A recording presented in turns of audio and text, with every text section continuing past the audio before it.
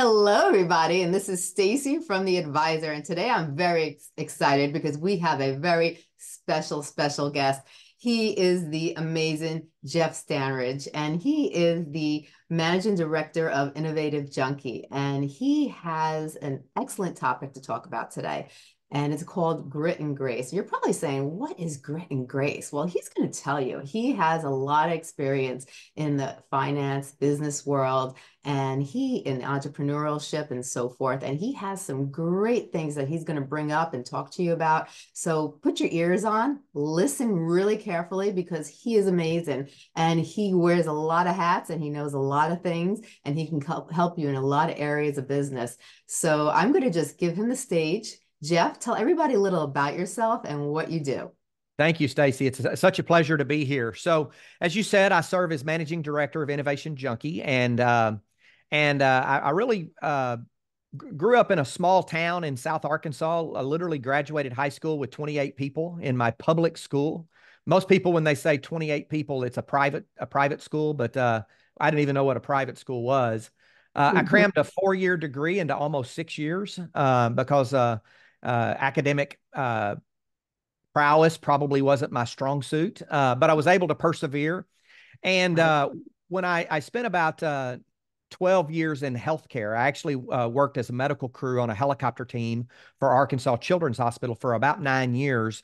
And while I was doing that, I became a professor at the University of Arkansas for medical sciences where I really got interested in the differences between successful, like top 1% performers and average performers, uh, not successful versus unsuccessful. I'm right. talking top top success versus average success, and and uh, uh, that actually led me to complete my doctoral dissertation on that topic, and led me to a publicly traded company who wanted me to do the same kind of research for them. Really, kind of threw me into the world of global business. I've worked on five continents. I've been able to take that research and and do observational research on five continents in multiple countries around the world and I've distilled that down into a concept that I that for a long time I talked about results and relationships and over the course of the last couple of years I've been really really uh, describing that more as the balance between grit and grace. Uh, right. Grit being those relationships, or I'm sorry, those those uh, uh, uh skills, capabilities, and what have you that lead someone to be able to generate consistent results, right. either individually or collectively, and grace or those relationship kinds of skills that enable them to build strong, long lasting relationships. And so I spend a lot of time with uh, everything from idea stage entrepreneurs to small business leaders to executives of companies, really of, of varying sizes, but probably the sweet spot is somewhere around the 20 to 250 million dollar range.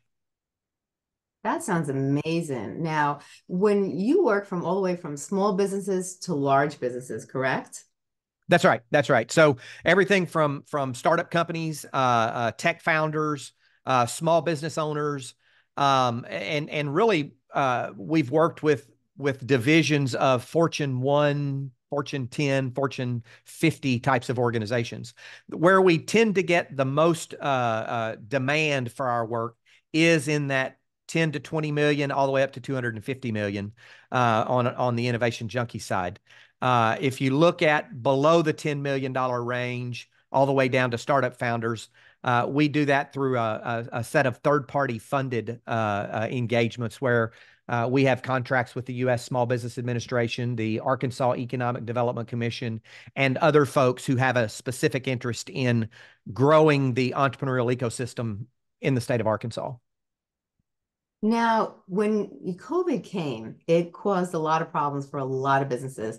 Now, mm-hmm. let's focus on those small businesses for a minute and up to those $10 million businesses. A lot of companies got hurt. A lot of companies got, you know, that have been here forever. Either That's they right. closed down a lot of, uh, of their shops or they you know or they yeah, they went out of business completely. And for small businesses a lot of business you know um, they they don't exist anymore or they were hurt really bad financially. And some of them are still working to catch up with themselves. Mm-hmm. now what are some of the common problems that you see right now that you know because we had a big change. Everybody was going to work back then. Now a lot of people are working from home. We went from one extremity to the next extremity. Mm-hmm. now from your own perspective what are some of the problems that you see common problems that you see in our business and entrepreneurial world industry? And what are some of the solutions that you have been suggesting and and implementing yep. companies and businesses that, that that's a great question. I will tell you that um uh, originally uh, in and around the actual pandemic, uh, the single greatest issue that we saw was having virtually zero cash reserves to fall upon, to, to lean upon.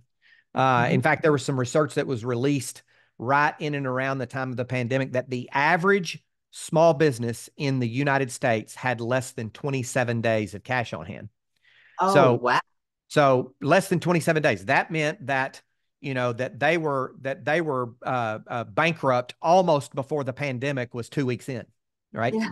And, mm-hmm. uh, and and you know that's not that's actually not different than what most households are. You know the most households cannot incur a $700 unplanned expense without going into debt because they have zero margin or zero cash reserves. And that was one of the single greatest things that led to some 200,000 businesses shuttering their doors forever because yeah. either either they had clients who who uh, stopped coming into their business or they had a government who shut them down and they they couldn't they couldn't open for business.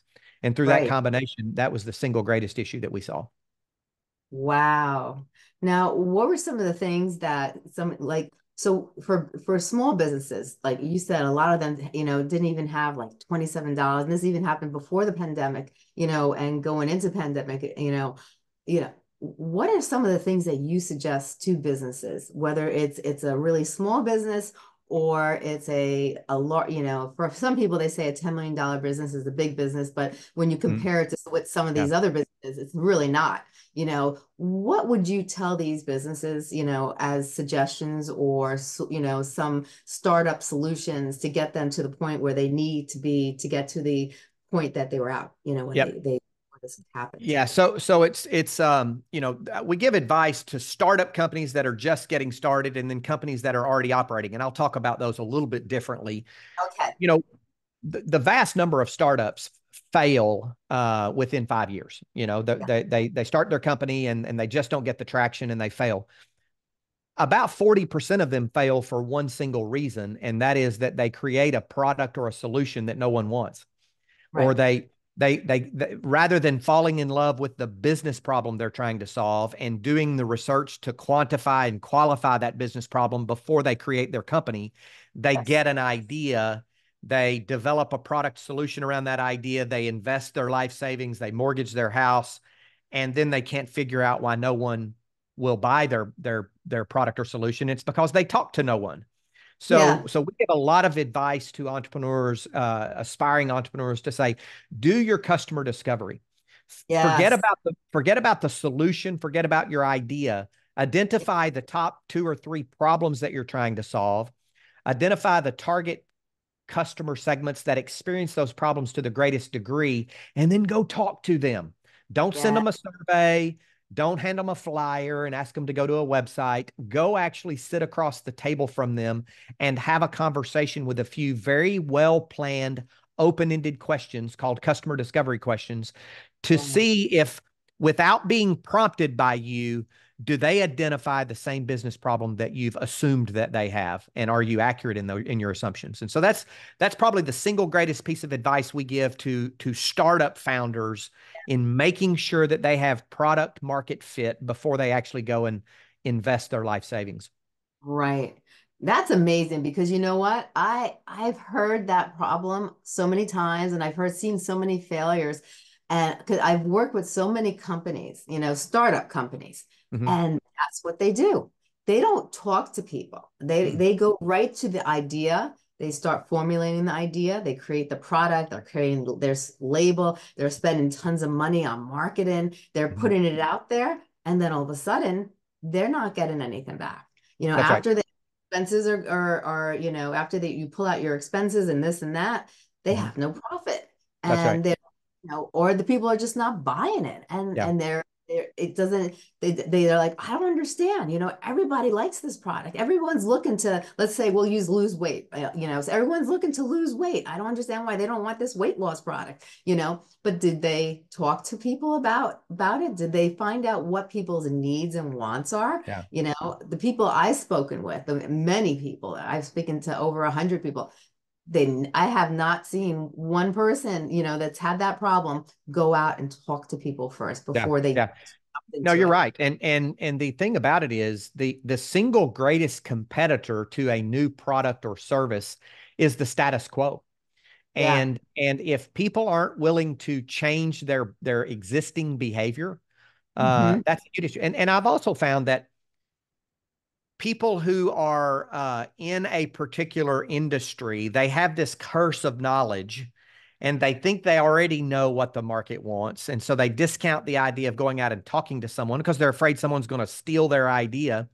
Yeah. And what they don't understand is there's a difference between a business problem that people will pay to have solved and a nuisance that people would never pay to have, have solved. They'll just gripe about. And yes. I see so many so many specialist entrepreneurs who are in an industry and start to create a new solution for that industry really don't go out and talk to anyone, but they create a a product or a service to serve that industry based upon all of their assumptions, and they yes. never really differentiated a true business problem that people would pay to have solved versus a nuisance that just many people will will will will gripe and complain about. Yeah, that's so true. That's so true.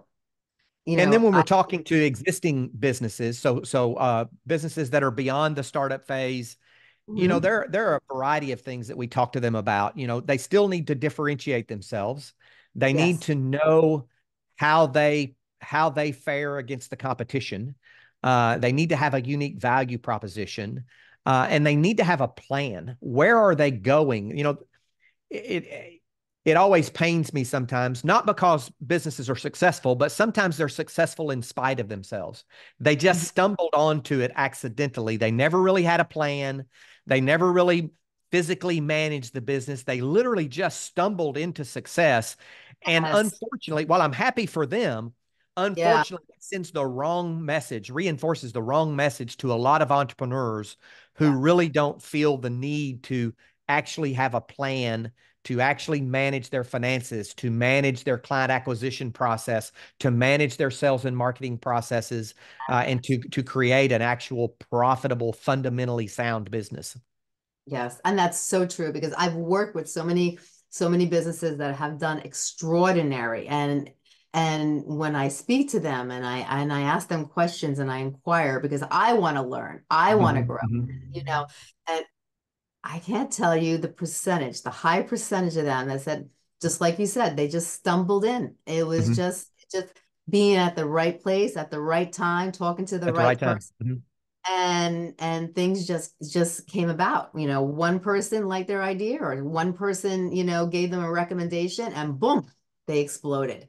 And right. you know, and and and it, you know, but they never they never planned, like you said they never planned mm-hmm. for ahead they never they never broke it down and created a trajectory plan and and and looked at each section and each category of the business mm-hmm. and how they were going to grow and how they were going to properly you know you know build that part of the business and what problems they might have and then what would be the solution to those problems none of them sure. did that that's right. That's right. And and while I'm happy for them, as I said, I would never want yeah. to to uh, criticize someone's success. I'm happy for them sure makes it harder to work with other entrepreneurs who feel like that they can do the same thing.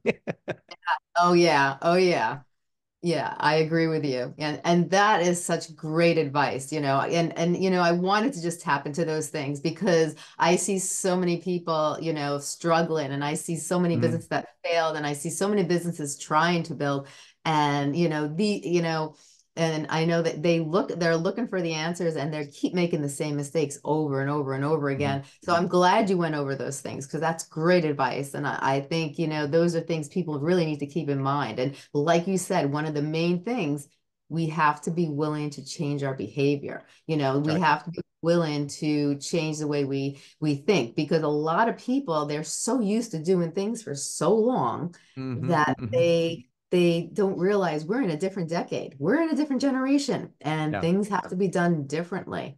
Mm-hmm. Now, you know, um, I want to talk about some of the other things that you do, and I'd like you to like tap into, you know, you you do so many different things. I'd like to focus on, you know, maybe the the um the innovation of the innovative junkie, or you know, go into some of the other businesses that you have and talk a little about that because you tap into different areas and you do different things, and all of mm-hmm. them are related to what we just talked about and can help businesses grow. So maybe you can just, you know, tap into something right now. Maybe we'll, we can talk about maybe the innovative junkie and sure. some of the does.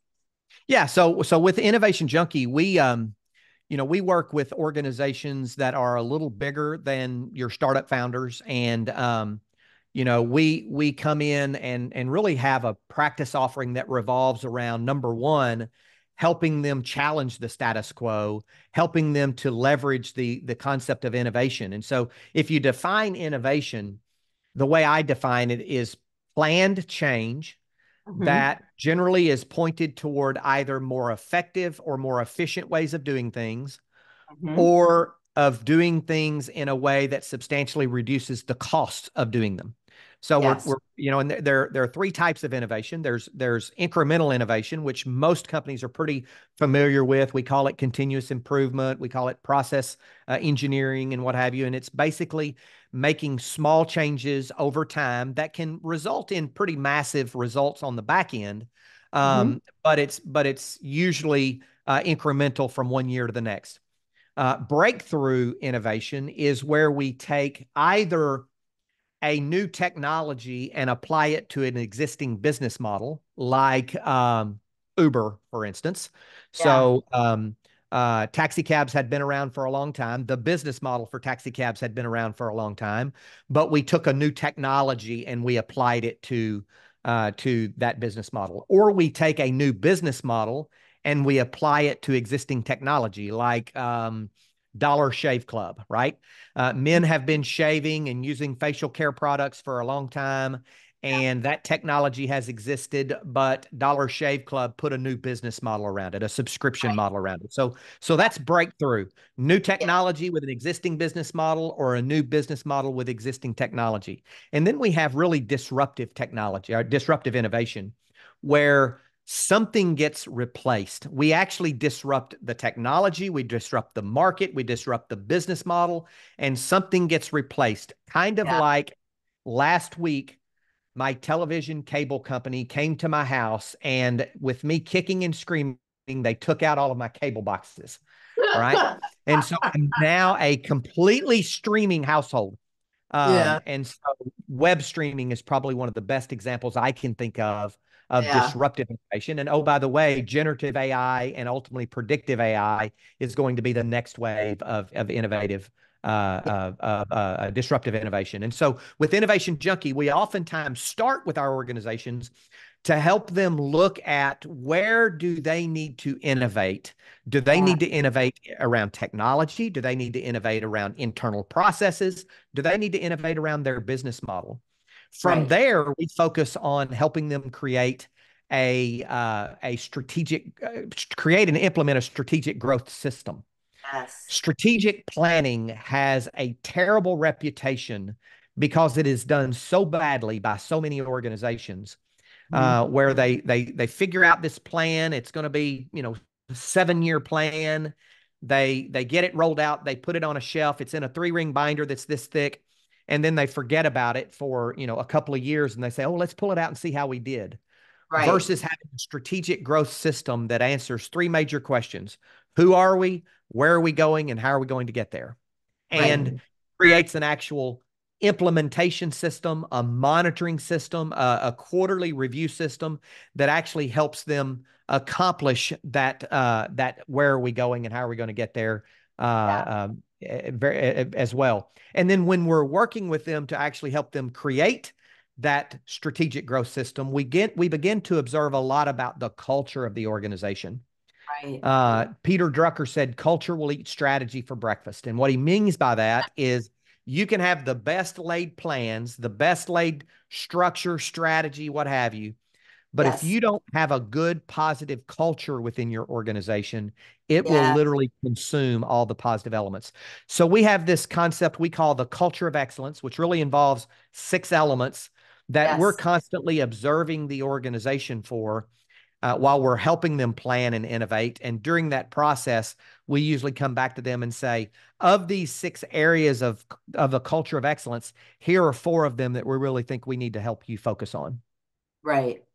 Oh, that you know that is so true. If you don't have a good culture, if you don't, you know that it will just eat eat it up alive. That's. Now, we we're talking about that. I was thinking to myself, now I've seen so many businesses that had so much potential, but Mhm. they the manager or or the person in in charge, the leader, you know, who is the in charge of that business, you know, whether it's big or it's small, you know, the leadership is so important, you know, Absolutely. And you know and your leader is your mentor. Your mentor you know if people value their their mentor they're going to learn from them. They are going to use them as an example and they will grow together as one big positive culture. Now what's your thoughts about leadership and what are some of the mistakes you see and, and what are some of the solutions that you implement or you suggest to companies that you know offer value Yeah. So uh, when I talked about those six elements of the culture of excellence, the very first one that I talk about is strong leadership. It's the very first one. And as a result, uh, we end up doing quite a lot of executive development, CEO coaching, executive development, and even middle management development around Yes. the concepts of leadership. Uh, strong leadership, in, in, and and I actually have a definition of leadership that I use universally that says leadership is the most important requirement for business and personal success. In simple terms, it's defined as the willingness to be held accountable for results and then to deliver on that responsibility no matter what the external circumstances, situations, or pressures. And I used to think about that willingness to be held accountable for results. I used to think about leadership as an act of assertion by a leader. In other words, I, as the leader, have to hold myself accountable and I have to hold everyone accountable. I have to go in and hold my people accountable. What I have realized as I've aged over the years is that true leader- leadership is about the willingness to be held accountable by other people and the creation of a culture where my senior executives are willing to be held accountable. Uh, the middle management's being held accountable, and they create a culture where everyone else submits themselves to being held accountable. It's a much, Right. much better organization when everyone in there is is willing to submit themselves to accountability. So strong leadership, absolutely tip top of the of the continuum in terms of creating a culture of excellence. Couldn't agree with you more there.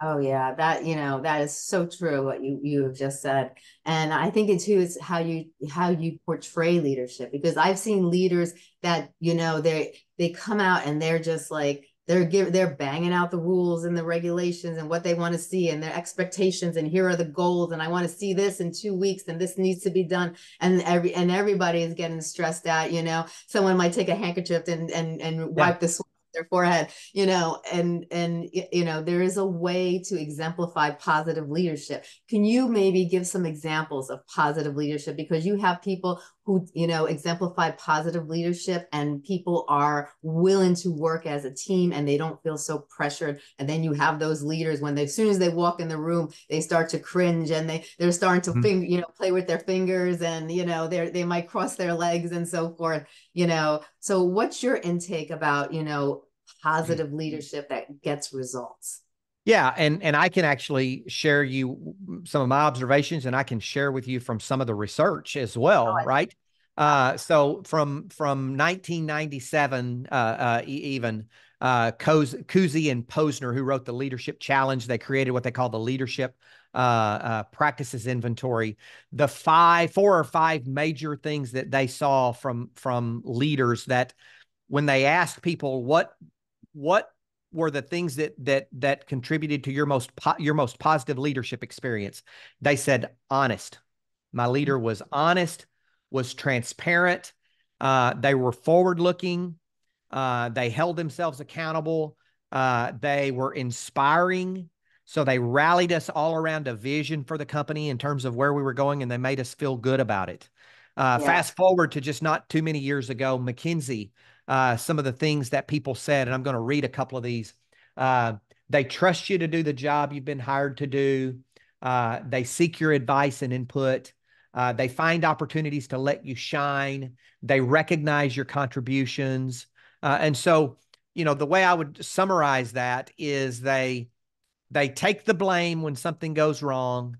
They give yeah. credit when uh, when something goes right, and they engage in what I call empowering communication. Now, if we look at the word empower, just the definition of the word empower is to make someone stronger and more confident in dealing with the circumstances that they're facing. So yes. think about that to make them stronger and more confident. Well, unfortunately, there's a lot of disempowering communication that happens in organizations from yes. relatively good leaders, but right. they but they resort to disempowering communication. So if we take that definition, it literally means to make someone weaker and less confident in dealing with the circumstances.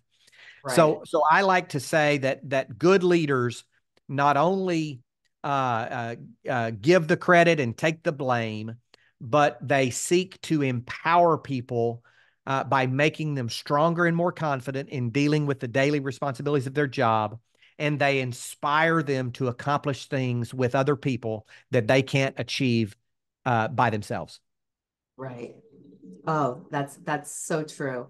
Because there are many times, and this is one of the biggest complaints that I see businesses say is that I can't find good employees. Like mm. you know, and they'll they'll say that you know either they're you know they'll have a X amount of, of responsibilities and they don't meet up to those responsibilities, mm-hmm. Or you know they're you know they're supposed to you know, they're supposed to come and show up and do X, Y, and Z, and they may come in late, or they you know, or they may give an excuse you know for why something's not done and you know and, and it throws off the whole community you know you know the whole that the whole department is thrown off you know mm-hmm. because once you you you know one department is not doing something and it's related to something else it, it, it affects everybody. So you know when it comes to for you have employees they they have the potential to be good employees but they're yeah. not meeting the expectations you know how would you handle that from mm-hmm. your perspective well, I think I think I ought to talk about a couple of the other areas of a culture of excellence because it speaks to that specifically. We've okay. already talked about strong leadership and we've talked about empowering communication. Those are two of yes. the elements of a culture of excellence. Right. The other one is clarity and focus. Mm-hmm. Uh, that the organization has a plan. They know where they're going as an organization. Each department within that organization knows how they contributed to that plan and, and what aspects of that plan do they own and yeah. every individual knows where they plug in as well. Yes. The, the, the third element, fourth element. So we've said strong leadership, empowering communication, clarity and focus. Two other elements I want to talk about are engaged and committed teammates. Yes. And so, you know, disengagement means so so disengagement means when someone quits and leaves or quits mm-hmm. and stays rather, right? Quit yes. they quit and leave, that's a retention issue. Disengagement yeah. is when they quit and stay. They just don't tell you that they've quit. They just stop doing right. their job, right? Right. Disengagement, employee disengagement is one of the single greatest uh, uh, expenses hitting companies today. They have too many people to do the job that they should do with a lot fewer because of disengagement. So yes. looking to to make the work meaningful, uh, to connect them with the work, and also being willing to give them feedback about their contribution, even if that feedback is negative. Mm-hmm. And then the the the fifth aspect is 100% accountability. That is one of the prime elements of a culture of excellence is 100% accountability from the top office to the to the newest employee. And right. what that what that looks like is when I commit to you that I'm going to deliver something to you by noon on Thursday. Yes. Then I'm going to deliver 100% accountability says I'm going to deliver that to you come hell or high water. Now, right if something happens on Tuesday that was unplanned, that takes me off track, at the very first moment that I realize that, I come to you and I say, Stacey, I know I committed to you to do this by noon on Tuesday. Is mm-hmm. that a drop dead date for you, drop dead time for you? And you may say, it absolutely is because I have a client meeting at two o'clock. Right. Then I say, okay, then I'm going to have to reprioritize because I've had some distractions come on board. Right You might say, no, you know what? Don't worry about it. I, am not probably not going to look at it until Monday. I'm going to say, okay, great. But the point is, the very first moment that I realize that I am at risk at not doing what I said I'm going to do when I say I'm going to do it, 100% accountability means that I actually come to you and attempt to maybe negotiate a change. What I don't do is wait until Friday morning until you ask me about it. And then I say, oh, yeah, I never got a chance to do that. Right. So at its core, if if integrity is defined as doing what you say when you say you're going to do it, if integrity means your words and your deeds are aligned, then accountability is really an integrity issue. Yes, very true. Very true. So, what I like to do when I'm having an employee who I think is a good employee, they are a cultural fit for the organization, but maybe having some bad habits or maybe demonstrating some undesirable behaviors. I like to give them what I call feedback without fallout. Mm-hmm. Uh, feedback without fallout. And that's a model that I use that was actually uh, done with me when I had someone who worked for me for a period of time. She came to me one day and said, Jeff, can I give you some feedback? And I said, sure. And she said, what I'd like to do is tell you what I'm observing. I'd like to then uh, uh, sh- share the the impact that it's having, how it's made me feel, and the impact it's having. Then I'd like to give you a chance to respond, and maybe we can talk about a resolution. Now, keep in mind, this was an employee that worked for me. Wow. And uh, and so I I thought about that, and I, I turned around, and I said, "Yeah, sure, please please give me give me that feedback." And she said, "Well, first of all, I um when when I come in to meet with you on a weekly basis for our regular touch base, and I'm sharing with you project status and where I'm having struggles and where I'm having bottlenecks and where I need support, I begin to observe a tilting of the head, a glazing over of the eyes, and a frequent checking of the watch. That ah. makes me feel like my job's not important. It makes me feel like I'm not a valued member of the team, and it makes me want to look for a job somewhere else the impact that it's having is I have floated my resume and I have two interviews, one this week and one next week. Now I'd wow. like to give you a chance to respond. of course, um, my immediate was response was, "I am so sorry. I yeah, I'm, I'm humiliated because that's not the behavior that I want to demonstrate. Right. I had no idea I was doing that. Yeah. I can't promise you I'm going to change that tomorrow and you'll never see that happen again because clearly it's a bad habit that I've created. But what I can promise you is you have my permission to call that behavior out every single time you observe it and to not let me do that.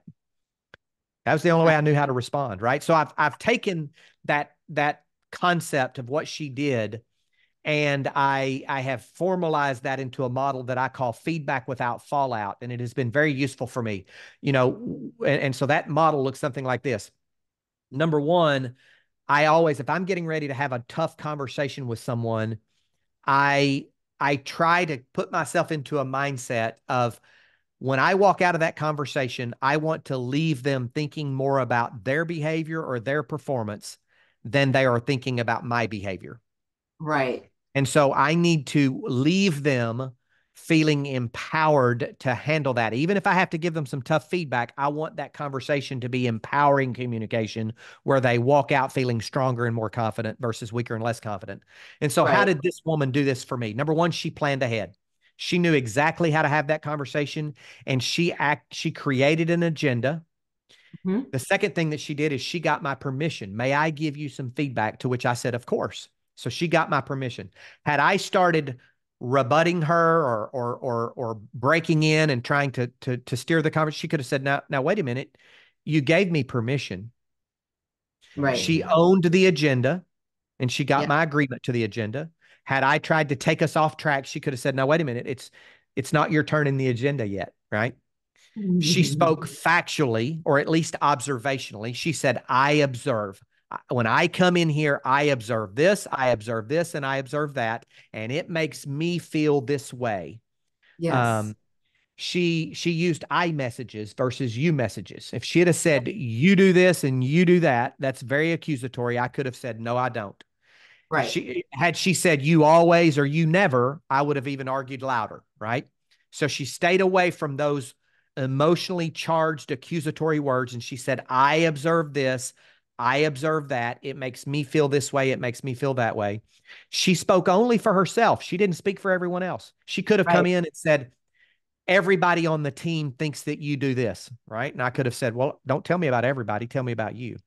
Yes. So she literally took away all of the arrows that I had, totally disarmed me, gave me feedback in a manner that I had nothing, there was no potential response other than a constructive response. Wow, I am very impressed with that employee. Actually, that that is the perfect way to when you have an issue, any type of mm-hmm. issue, mm-hmm. to approach another individual. Even in your personal life, you could mm-hmm. take that. You can take that. You know, for sure. Um, Marriages and parenting relationships, absolutely. Yeah you know and, and that's a great way to communicate with another individual you're not mm-hmm. accusing them you're speaking for yourself you're getting permission and you are you're you're, you're getting out the problem and yeah. you're you know and you're able to communicate and you're not you're not bringing in anything else you're just talking about yourself and these are my feelings and mm-hmm. these are saying that you know it's okay for me to feel like this i'm allowed to feel like this this is the way i feel you know mm-hmm. may i have your feedback you know yeah. and that that to me is like the perfect way to communicate with any individual. If we all communicated like that with our workers in our family homes you know at, in, in the streets with with other people mm-hmm. you know relationships friendships businesses would would would excel just just by that agenda yeah, I, I, completely agree. It's been transformational for me when I when I use it. Right. Remember, I said earlier the biggest competitor to a change is is the status quo, and sometimes yes. I still am who I am on the inside, and I forget to do that. But but even that point number one, that I want to leave them thinking more about their behavior or their performance than they're thinking about my behavior. Even if I just do that, it yes. puts a different frame of reference to have that difficult conversation. So when I talk about empowering communication and I talk about leadership and I talk about engaged and committed teammates, I don't want to suggest that leaders don't have to have tough conversations sometimes because they do. Leadership is not a popularity contest. And no. and sometimes you have to have a tough conversation with an individual because they're abusing the system, they're abusing their other teammates. And if you have a set of core values that you've adopted as an organization, if you're not willing to hire and fire people against those core values, then they're really not core values. They're just pretty words on a page that you've put right. some graphics around and stuck on the wall.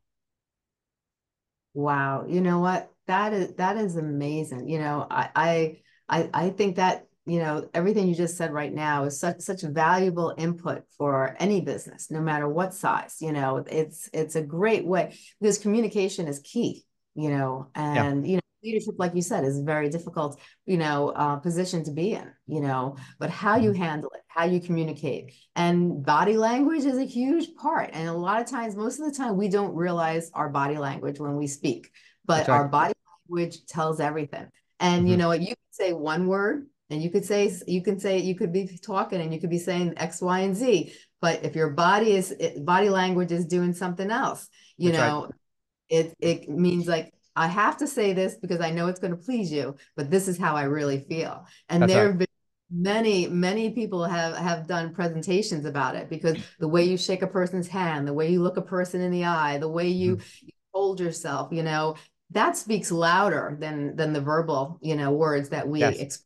To another human you know so re- yep. really it, you know by knowing how your facial expression looks you know how you your eyes look glazed and you tilt it mm-hmm. to the left and you mm-hmm. know that that brings awareness to you and that actually could you know like you said strengthen relationship between sure. another way so i like that a lot you know you said a few moments ago that that employers having a hard time finding employees or keeping employees and and i want to share an anecdote with you but i want to say first and foremost if if you haven't really taken a look at the culture of your organization and you're having a hard time finding or keeping employees, that's be, that'd be the first place that I would look. I've got some research from Forbes, from Gallup, from Columbia. Uh, uh, four times the revenue growth of company strong companies with strong cultures have four times the revenue growth of companies with weak cultures.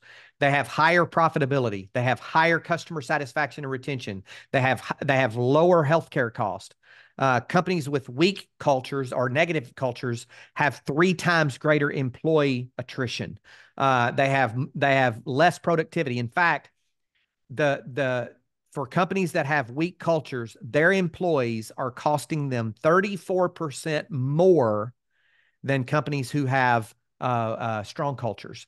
And and so I want to share an anecdote with a company that I'm actually an investor in, but I also do some consulting work with as well. It was an insurance agency, uh, an insurance agency that has three locations. And about three years ago, we started working with them to create a strategic growth system. And, and when they started thinking about the vision of their company three years down the road, they put an equal focus on their customers as they did their employees. And, and their vision was something like this by 1231 2027 we will be the agency of choice for insurance professionals to thrive and for customers who need high quality insurance products and solutions, right? So they said, we want to be the employer of choice for insurance professionals, and we want to be the insurance provider of choice for, for people needing insurance solutions. At that time, three years ago, they had more open positions than they had talent to fill. Okay. Mm. They just couldn't, they couldn't fill their, their positions.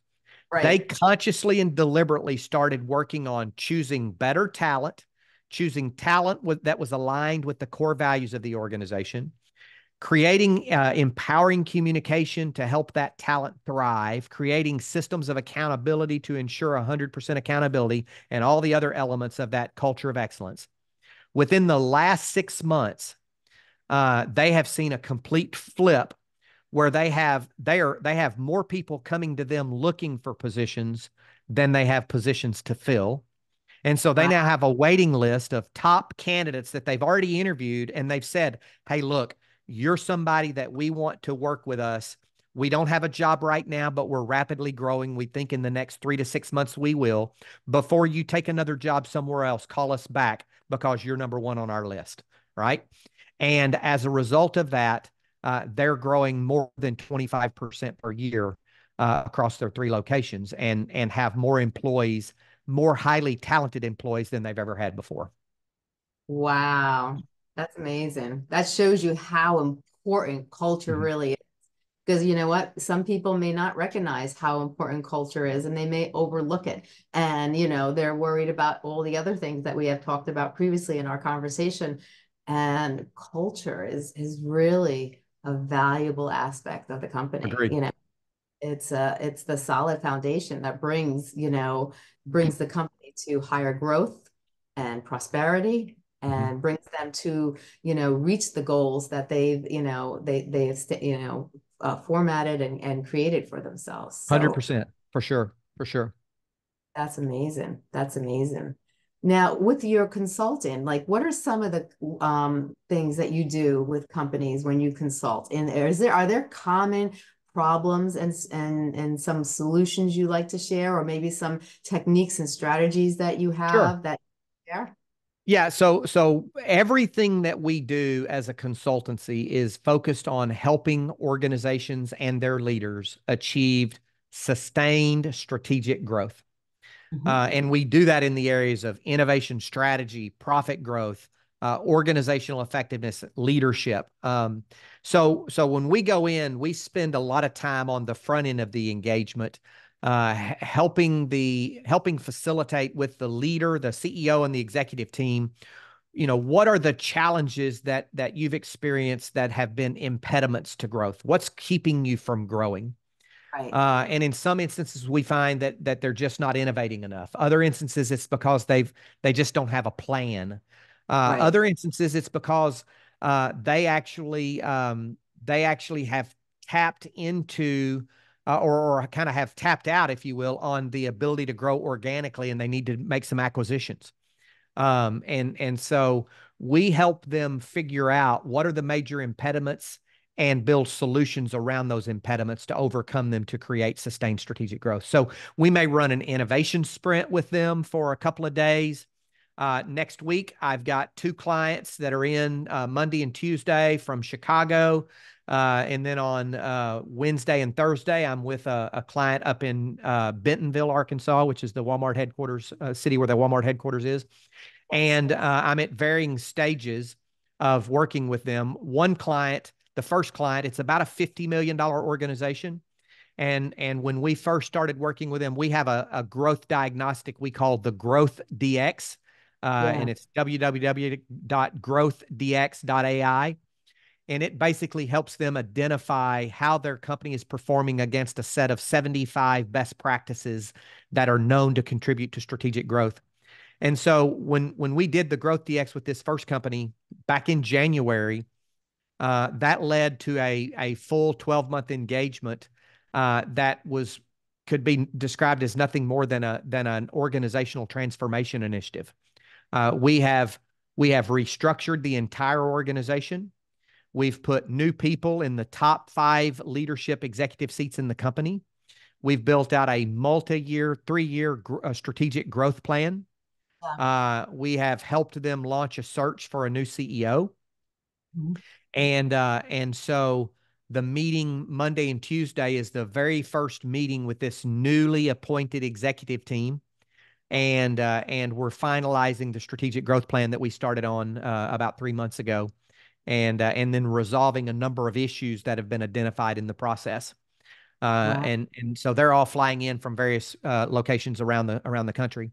Uh, the one on Friday, on, on, Wednesday, Thursday rather, is is our, our, our we, we helped them actually execute an acquisition. They acquired a company that was about almost the same size as, as they are, probably about 70% of their size. So they almost doubled in size overnight.